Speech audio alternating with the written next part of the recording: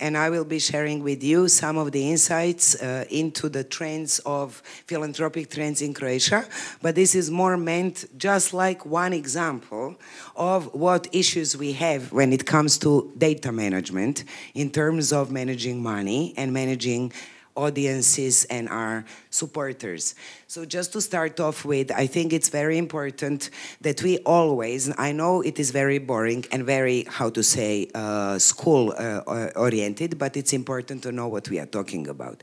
Because very often in different type of research or philanthropy, we have different subject matter because it depends whether we consider philanthropy also different public uh, public giving, public institutions engagement in types of investments, social investments that go well beyond what is uh, regulated or just like standard public policy scope. But just for the sake of our common understanding, we are talking about voluntary investments into the well-being of communities, starting from individuals, to communities, to organizations, to policy areas or problem areas, but no matter whom we support, even if you support an individual, there is a ripple effect because communities are always affected. Uh, so the second thing that I think, uh, for coming from where I'm coming from, Solidarna Foundation is uh, an experiment, a strategic experiment of human rights sector in Croatia. We set up a foundation in late December 2015 to test whether there are 10,000 citizens in Croatia ready to support human rights causes because it has been a very ignored area with a lot of fear and anxiety among people who are working on difficult causes fearing that if they step out and expose themselves towards the public, they will not get uh, respect, but they will get contempt. Or will, there was a lot of insecurity around private philanthropy or philanthropic effort for the sake of human rights.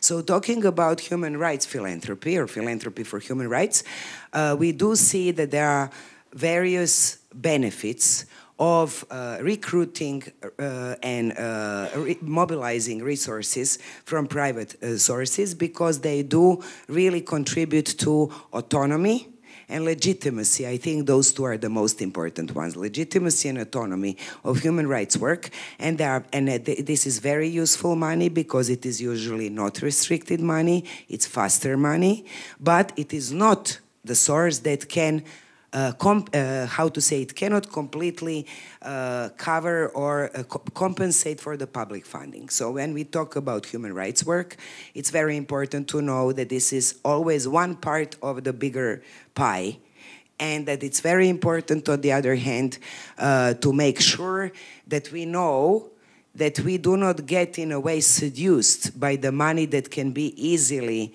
fundraise. This is happening to us in Solidarna because what we are doing, we are combining humanitarian and human rights work. And when we do the clever mix of both, we manage to draw audiences that otherwise no, would not directly fund human rights work. But if we explain if building a house for somebody who lost it in the earthquake and the government did not build that house and we are stepping in, but then we are communicating and advocating for the government to step up its efforts efforts, then we are doing a happy, how to say, marriage between humanitarian, compensatory work in terms of what the government is not doing, and pushing the government to take responsibility. But there are many traps around it. And there are also traps when it comes to including engaging, broadening your audiences, and especially trying to engage corporations. We're always also dancing. You have a dance to dance. Make sure you're not co-opted that you are kind of educating them as much as helping them feel that they can identify with the right cause. So when it comes to research and understanding, uh, understanding philanthropy, I think it's very important to also consider through different types of research to keep an eye on the motives and the rewards, the dynamics of philanthropic motivation to give and reasons why people give, which also differ very much depending on the context, depending on culture, and dep depending on specific situational needs. Uh, so, for instance, in underdeveloped markets, uh, economically underdeveloped markets, where you have the majority of population that is not using their wallet to make a statement, but is using their wallet to survive, and that means they are going to be shopping in Žabka or in Žabac in Croatia. We just realized that it's the same shop, probably. So, like going for the cheapest food and compromising your values, that's like normal in countries where people don't earn enough money. So you really have to uh, be, uh, how to say, aware of, uh, of the motivations and the rewards. And these are things that can be covered if you are monitoring what you are doing and if you are aware of these topics, then you can try to integrate it into your feedback, uh, feedback that you are getting from the donors and are trying to see what is motivating people to give. Uh, these are some of the, uh, you are very familiar with all of this, but I would say that uh, when we are following and mapping philanthropic trends, uh, there are certain features uh, of uh, philanthropic giving that should, we should keep an eye on, like certain categories that are important for the sake of understanding what the dynamics is crisis versus development oriented philanthropy is actually one of the biggest issues, like the biggest differences or the most distinctive features of philanthropy when it comes to Croatia. There is a very clear gap and difference between two types of giving. Um, so, uh, talking about uh, global philanthropic trends, that there are many of them, but those that resonate, I would say, with our very small country, very small society, which is just catching up with uh, philanthropy. Uh, uh, the whole, we are living in an age of increased uh, how to say now constant uncertainty as uncertainty becomes bigger as people feel less safe there is a greater impetus to do something about safety and uh, also the, the awareness that the solutions to social problems that are out there are not adequate enough. So it is not uh, surprising that uh, so crisis response and social innovation uh, are two areas where philanthropy is getting a lot of uh, dynamism.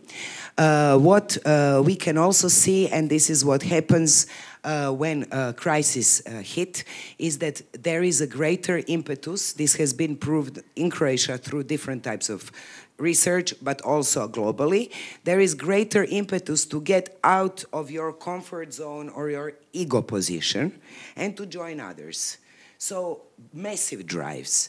Uh, blurring boundaries between who is the big corporate foundation guy who was the first one, you know, or like this kind of getting relaxed about working with others and accumulating money and channeling it in the same direction is, I would say, one of the biggest positive things that is coming out of the times of uncertainty.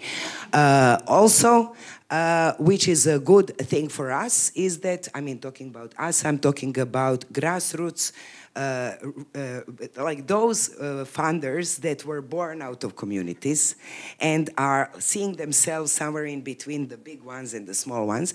And that is that participatory approaches to grant making are becoming much more prominent, not only for the sake of being democratic, inclusive, and nice and diverse and everything else, which is like, thank God, becoming a part of the buzz and part of the CSR uh, discourse, which is becoming politically correct, which is great for us. But not only because of that, but because it is more efficient, it's more cost effective, it is uh, shortening time for doing additional studies and research if we're engaging those people that know what's going on in inclusive participant. Oh my God, only five minutes. Okay, so what I wanted to say, I'm just, I, I just wanted to uh, refer also to the same research that you just mentioned.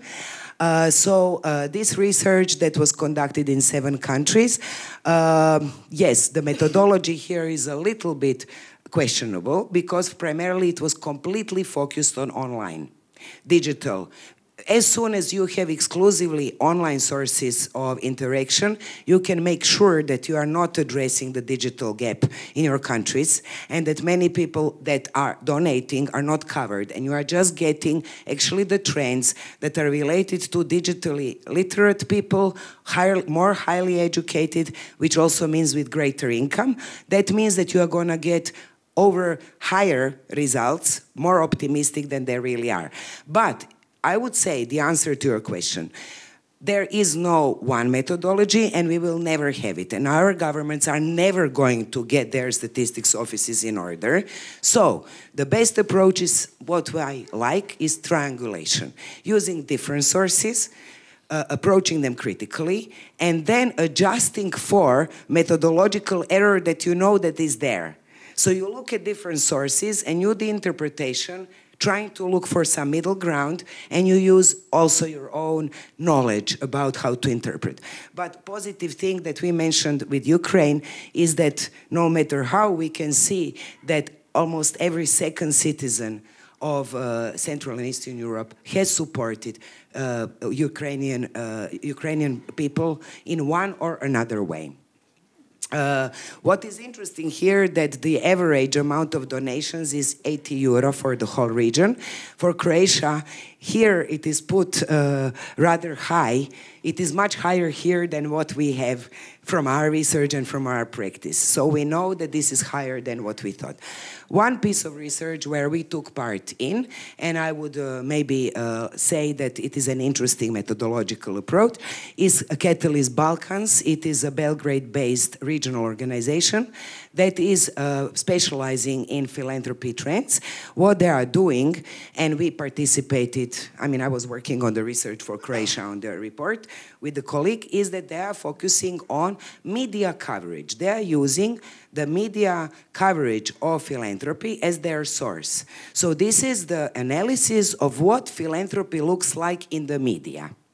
But because they have a very good database of media, in Croatia they are covering close to 1,000 different media outlets, then you can say, and today in our mediated culture, what is out there in the media exists. And we know how important media are for fundraising, because that's how we are reaching others. So I would say that this research, with the disclaimer that this is the media representation of philanthropy, is rather interesting and rather uh, and rather, how to say, at least methodologically clean. They are not pretending to be something they are not. You can see the trends in Croatia, and you can see how the crisis has catapulted uh, philanthropy in Croatia. Mind you, Croatia is very, very, very underdeveloped. Very underdeveloped. I want to highlight that. For us, Slovakia is a role model. Czechia is a role model. Poland is really I mean, to be honest, yes. But you can see what has happened. Okay, uh, and what is interesting here is that uh, because Croatia didn't only have a pandemic, we had two earthquakes in 2020. So the more crises and the more intense they are, the more fundraising you get you know. And you can see that Croatia has a very uh, asymmetric, very uh, diverse regional uh, capacities when it comes to fundraising and when it comes to where the money is going. The most interesting finding that we got from this research is that we took the information of the number of instances of donations and the amounts given and directed towards local communities. And then we compared it to the statistical data on regional development index and came up with something very enlightening that the least developed regions in Croatia managed to absorb the lowest amount of money. And it is the same kind of reproduction of development paradox which is happening with the EU funds. Look at which countries in the EU are absorbing the most of, let's say, agricultural budget development. So the big issue is if we go back to Amartya Sen and the idea of development as the, de the development means on our capacities to develop, that it means that we need to invest into the capacities of those that did need the money most so that they can fetch the money. And I will have to finish now because I overdid it. You can learn more if you scan this barcode.